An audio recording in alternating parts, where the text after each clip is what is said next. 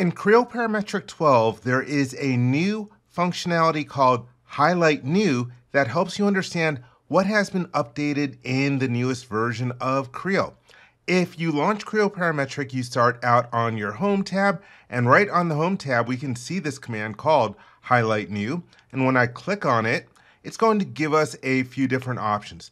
First off, you can enable the highlighting of new functionality. It is turned on by default.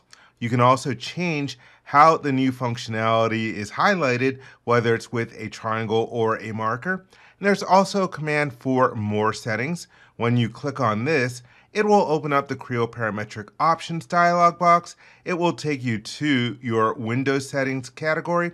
And here in the middle, we have the Highlight New Functionality options, which has the same control over whether it's enabled, the highlight type, and where you want to start showing it from.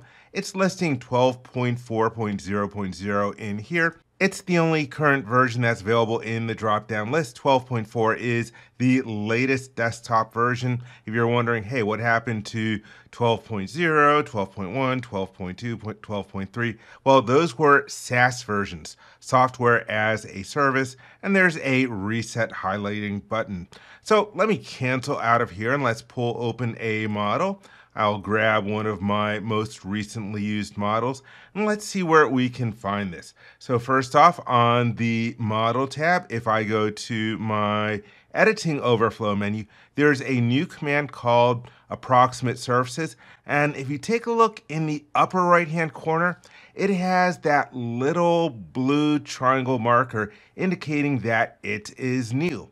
And if we go to the drop down menu, you have a couple of commands that you can learn more about it. If you click on learn more, it is going to open up the page in PTC Help that will teach you how to use this new command.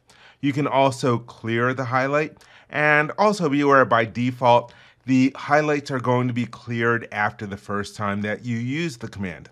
Let's take a look at a few other different commands. So for example, if I go to the Tools tab, we can see that Hatch Designer over here has a new command. Let's take a look at the View tab. If we take a look on the View tab, there are a couple of new commands on here. There is Capture Visibility and there's Toggle Visibility, which is currently grayed out. Speaking of which, if you take a look at your Quick Access toolbar, we have a couple of commands on there that indicate that they are new. And this is also Capture Visibility and the Toggle Visibility commands. And oh yeah, also one other command that you have in your quick access toolbar, you can now control the display of tangent edges in your model. So for example, I click on that, you don't see the tangent edges. So this new highlight new functionality helps you understand what is new in your latest version of Creo.